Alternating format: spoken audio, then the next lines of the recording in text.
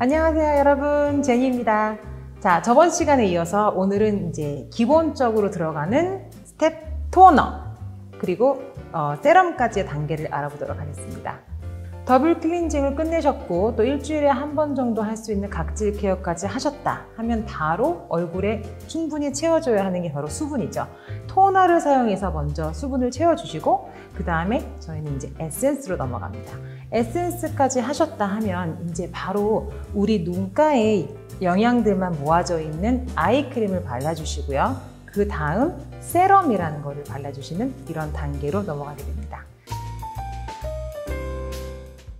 더블 클렌징이 끝나고 special care를 하실 분들은 뭐 지금 각질 제거를 하셨다 하면 바로 이 수분을 채워줘야 됩니다. 지금 얼굴에 굉장히 모든 유분기와 수분기가 다 빠져있는 상태이기 때문에 토너로 이렇게 닦아주실 수 있고요.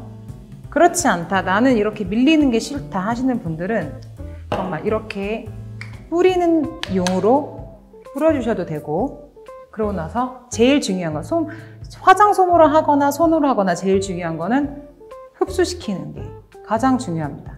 그래서 꾹꾹 눌러주셔도 되고요.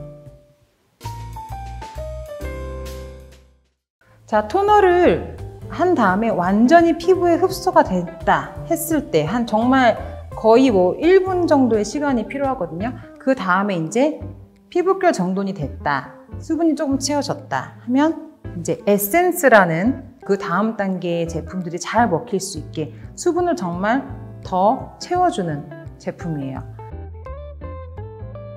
이것도 잘 펴 발라주시고 좋은 제품 쓰시고 다 좋지만 무, 무조건 제일 중요한 거는 흡수시키기. 아이크림을 발라줄 건데요.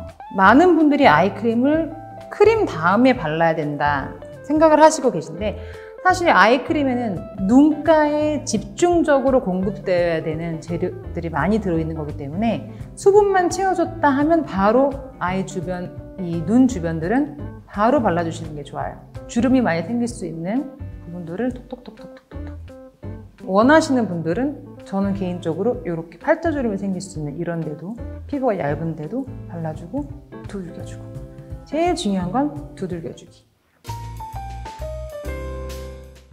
아이크림까지 마쳤다 하면 이제 세럼 단계로 넘어갈게요. 세럼은 정말 우리 피부에 필요한 좋은 영양분들이 많이 들어있는 액체거든요 이것도 찍어주시고 여러 군데 찍어주시고 그 다음에 제일 중요한 두들겨주기, 흡수시켜주기.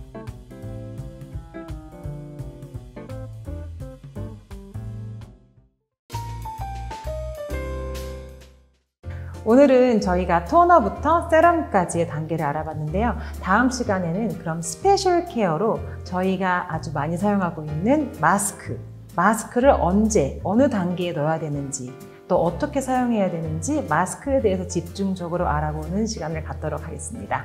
그럼 오늘 저랑 함께 해주셔서 감사합니다. 다음에 또 뵐게요.